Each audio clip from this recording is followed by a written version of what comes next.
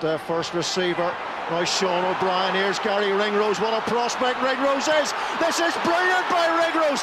This is class from Ringrose! That is brilliant from Ringrose!